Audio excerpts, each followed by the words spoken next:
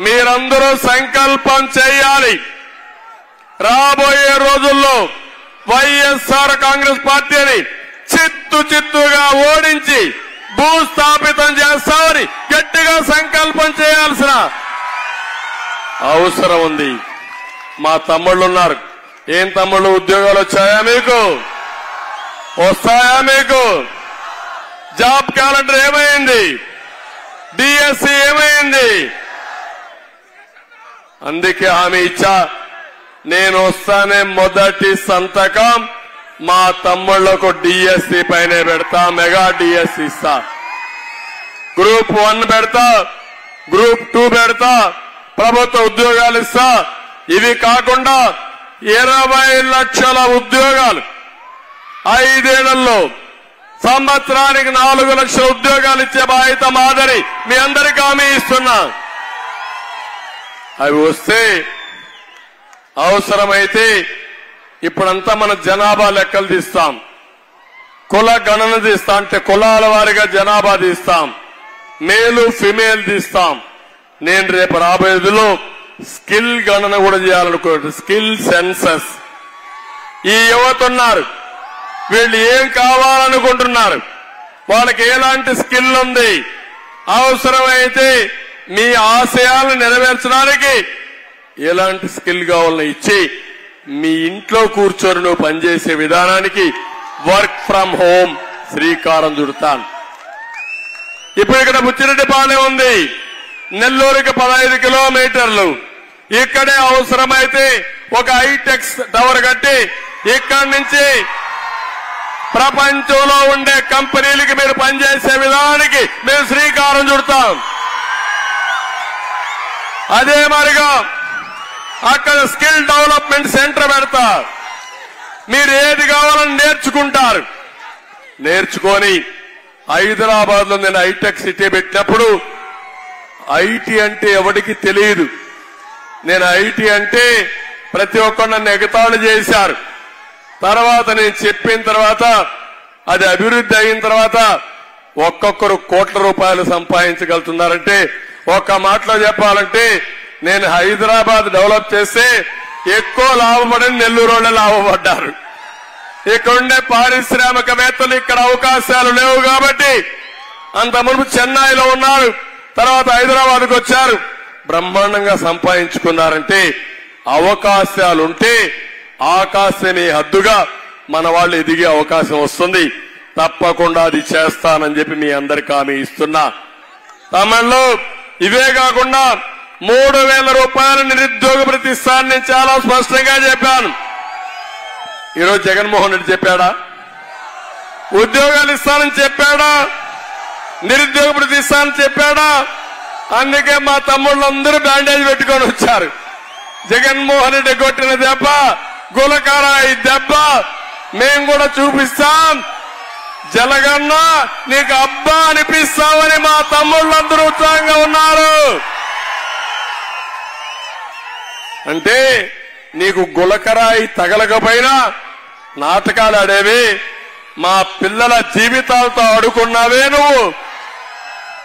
వాళ్ళ భవిష్యత్తు ఆడుకున్నావే వాళ్ళకు ఉద్యోగాలు రాకుండా చేసావే వాళ్ళ కడుపు మంట ఉండదా అని అడుగుతున్నా నేను ఈ సభలో. ఉండదా తమ్ముళ్ళు అంటున్నా. ఇంకొక పక్క వీళ్ళకేగా తమ్ముళ్ళు. అంగన్వాడీ. అంగన్వాడీ వర్కర్స్ అన్యాయం జరిగింది. ఈ రోజు మీరు చూడండి అంగన్వాడీ వర్కర్స్కి అయితే నేను ఐదేళ్ళలో ఆరు వేల మూడు వందలు పెంచాను. ఈ దుర్మార్గుడు వచ్చి నాకు ఏమీ పెంచకుండా మళ్ళా అధికారంకి వస్తే నేను వేస్తాన్నాడు ఈయన అధికారంలోకి వచ్చేది సచ్చేది లేదు. వచ్చేది మనమే పెంచేది మనమే. ఆ విషయం అంగన్వాడీ వర్కర్స్ అందరికీ విజ్ఞప్తి చేస్తున్నా.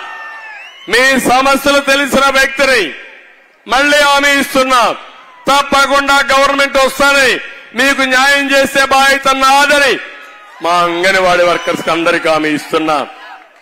హోమ్ గార్డులు ఉన్నారు. వాళ్ళకు కూడా ఇబ్బందులు ఉన్నాయి. నేను ఒకప్పుడు తొమ్మిది వేలు జీతం వస్తే ఆండోర్యం పద్దెనిమిది వేలు చేశా. ఇప్పుడు ఒక్క రూపాయి పెంచలా మళ్ళా హామీ ఇస్తున్నాం. మళ్ళీ మీ జీవితాల్లో వెలుగొచ్చే విధంగా మీ అలవెన్స్లు గాని జీతాలు గాని పెంచే బాధ్యత మాదిరి మా యొక్క హోమ్ గార్డ్స్ కూడా తెలియజేస్తున్నా. ఈరోజు టీచర్లు ఉన్నారు పోలీసులు ఉన్నారు ప్రభుత్వ ఉద్యోగులు ఉన్నారు ఏం తమ్ముళ్ళు మీకు జీతాలు వస్తున్నాయా? సరిగా అని అడుగుతున్నా.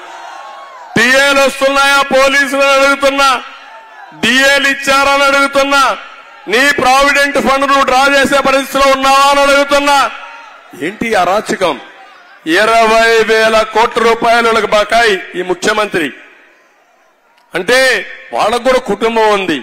వాళ్ళకు పిల్లలున్నారు. వాళ్ళకు కొన్ని ఉంటాయి అవసరాలు ఉంటాయి. కనీస అవసరాలు చూడకుండా బానిసల మార్గం దగ్గర పని చేపించే దుర్మార్గుడు జగన్మోహన్ రెడ్డి. మాట్లాడితే ఒక కేసు పెడతారు. పాప వీళ్ళు పెట్టకపోతే కేసు పెట్టకపోతే వీళ్ళ మీద ఒత్తిడి వేస్తారు. అంటే రిజర్వ్లో పెడితే వీళ్ళకి జీతాలు రావు. వీళ్ళ జీతాలు రాకపోతే ఇంట్లో గడవదు కాబట్టి వీళ్ళందరూ కూడా తగ్గిపోయి పనిచేసే పరిస్థితికి వచ్చారు. ఉద్యోగస్తులందరికీ హామీ ఇస్తున్నాను. మళ్ళీ మీ అందరికి ఒకటే నేను రిక్వెస్ట్ చేస్తున్నా. నేనే పిఆర్సీలు రెండు మూడు పిఆర్సీలు ఇచ్చింది నేనే ఇచ్చాను. అందరి ముఖ్యమంత్రుల కంటే పెద్ద పిఆర్సీ అంటే ఫిట్మెంట్ ఛార్జ్ మ్యాక్సిమం ఇచ్చిన వ్యక్తిని నేనే అవునా కాదా? ఒకసారి చరిత్ర తిరగేయండి. నేను ఒకటే ఆలోచించాను. సంపద సృష్టించాలి. ప్రభుత్వానికి ఆదాయం పెంచాలి. ప్రభుత్వ ఉద్యోగులు సంపద సృష్టించడంలో భాగస్వాములు కావాలి. మళ్ళీ ఆ సంపద వచ్చిన తర్వాత ప్రభుత్వ ఉద్యోగులకు కూడా న్యాయం జరగాలి. వాళ్ళు కూడా తృప్తిగా పనిచేయాలని దేశంలోనే సెంట్రల్ గవర్నమెంట్ కంటే ఎక్కువ జీతాలు ఇవ్వాలని ఆలోచించిన వ్యక్తిని నేనేనని చెప్పి మీ అందరికి తెలియజేస్తున్నా. విభజన సమయంలో మనకు ఆర్థిక ఇబ్బందులున్నాయి పదహారు వేల కోట్ల రూపాయలు డెఫిసిట్ ఫైనాన్స్ ఉంది. తెలంగాణ నలభై మూడు పర్సెంట్ ఇస్తే దానికంటే మిన్నగా ఇవ్వాలని నలభై మూడు పర్సెంట్ ఇచ్చి యాభై ఎనిమిది నుంచి అరవై సంవత్సరాలు ఉద్యోగ వయస్సు పెంచిన వ్యక్తిని నేనే. ఆ విషయం వీళ్ళు గుర్తుపెట్టుకోవాల్సిన అవసరం ఉంది. ప్రావి ఇది మీరు చూస్తే ఏదైతే ఈ ముఖ్యమంత్రి అందరినీ మోసం చేసినట్టు కడాన టీచర్లు మనం చూశారు తమ్ముళ్ళు. బ్రాందీ షాపుల దగ్గర టీచర్ని కాపలా పెట్టాడంటే ఎంత దుర్మార్గుడో మీరు ఒక్కసారి ఆలోచించుకోండి. నేనున్నప్పుడు ఒకటి ఆలోచించాను. టీచర్ అంటే మనందరం గుర్తుపెట్టుకోవాలి. మన పిల్లల జీవితాలు తీర్చిదే వ్యక్తి టీచర్ గురువు. తల్లి తండ్రి గురువు దైవం. సమాజంలో అలాంటి స్థానం ఇస్తాం. అందుకే ఒకప్పుడు నేను ముఖ్యమంత్రిగా ఉన్నప్పుడు సమైక్య ఆంధ్రప్రదేశ్లోనే ట్రాన్స్ఫర్స్ కూడా టీచర్ అనే వ్యక్తి ఎవరి దగ్గరికి పోకూడదని కౌన్సిలింగ్ పెట్టి మెరిట్ పైన ట్రాన్స్ఫర్ చేయించిన ప్రభుత్వం తెలుగుదేశం ప్రభుత్వం అని చెప్పి కూడా నేను మీకు తెలియజేస్తున్నా. దగ్గర దగ్గర డిఎస్సీలు అయితే పదకొండు డిఎస్సీలు తెలుగుదేశం ప్రభుత్వం ఇచ్చాం. నేను ముఖ్యమంత్రిగా ఉండగా ఎనిమిది డిఎస్సీలు ఇచ్చారు. జగన్మోహన్ రెడ్డి వచ్చాడు. ఒక్క డిఎస్సీ ఇచ్చావా?